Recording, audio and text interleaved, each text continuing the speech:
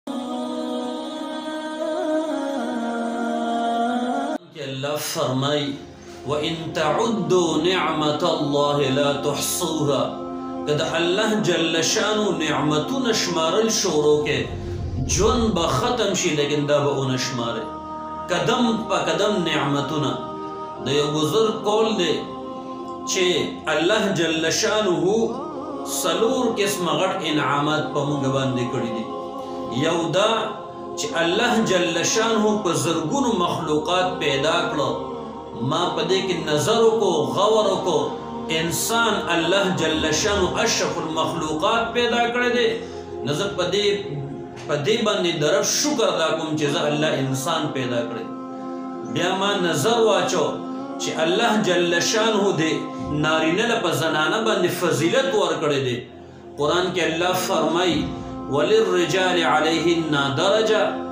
سړی له الله جل شانه په زنانو فضیلت ورکړی دی زه الله نارینه پیدا کړم زه په دې درب شکر ادا کوم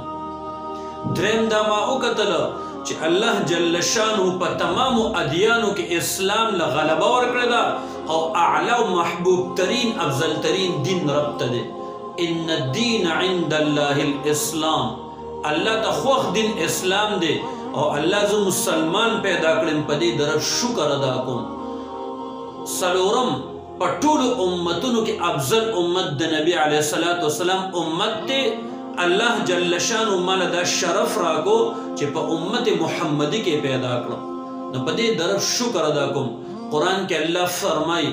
لئن شکرتم لازیدنکم کچر د زما شکر ادا کوي الله جل شانو په دغه نعمت کې اضافه کوي الله جل شانو فرمای وقلیل من عبادی الشکور زما ډیر کم بندگان دا شکر ادا کوي د شکر دا ماده دا انسانانو کې ډیره زیاته کمه ده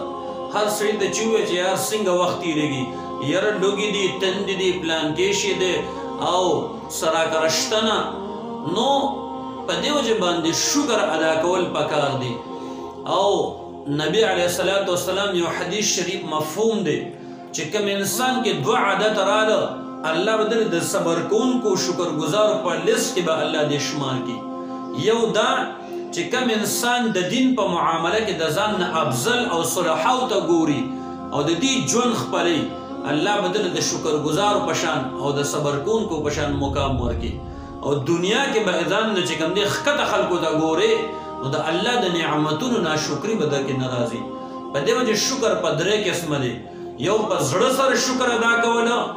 یو په جبه سره د الله ذکر کول حمد و ثنا بړای کبری ویل او بل عمل بالجوارح چې خپل دا بدن د الله شریعت ته احکاماتو ته دا تابعدار کې او پابند دی کې په دې اعضاء او جوارح کې د الله منل راشي ورشه سپتال کې وګوره څوک د ګردو بیمار دي څوک د زړه بیمار دي د چا د سر کې رسولې ده څوک ګډ دي څوک شل دي د چا یو ځای ته پیپونه ورخکته شوي دي د چا بل ځای ته پیپونه ورخکته شوي دي